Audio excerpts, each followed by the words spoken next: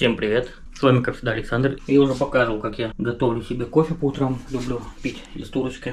Но сейчас видео не об этом, а о том, как сделать кофе еще вкуснее. Практически как из кофемашины. Ну, с кофемашины, конечно, такой кофе не, все равно не сравнится, но все же поближе.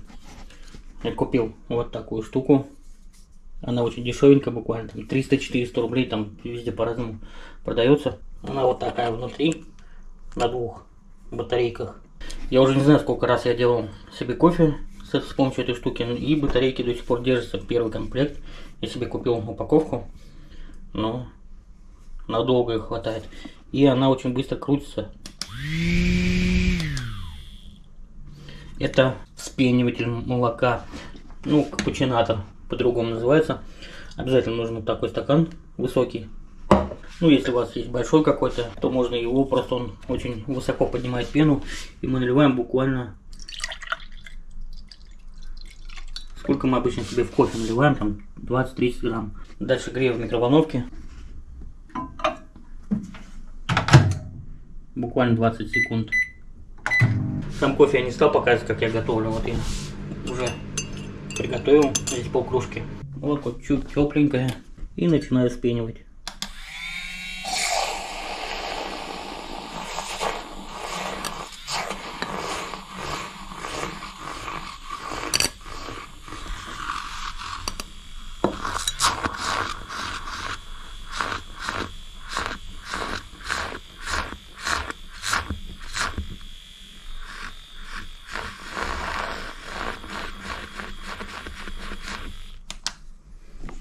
Вот и все. Буквально 10-15 секунд и готово.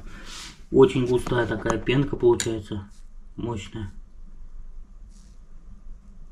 Она даже не, оси... не сразу оседает.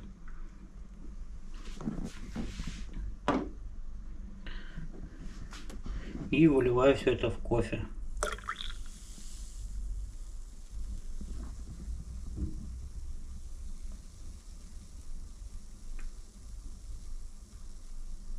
Она даже просто так вкусно очень становится.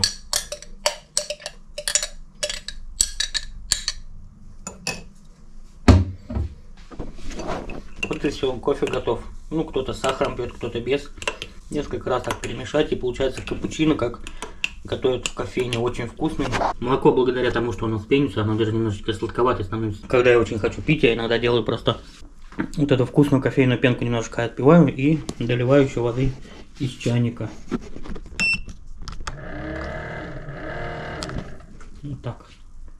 Отличный получается капучино. Конечно же, я потом куплю себе, когда денег накоплю, хорошую кофемашину. Но об этом видео будет потом, наверное, в следующем году только я себе смогу это позволить. И то пока не уверен, но надеюсь. А кому это видео понравилось, пишите обязательно комментарии, ставьте лайк.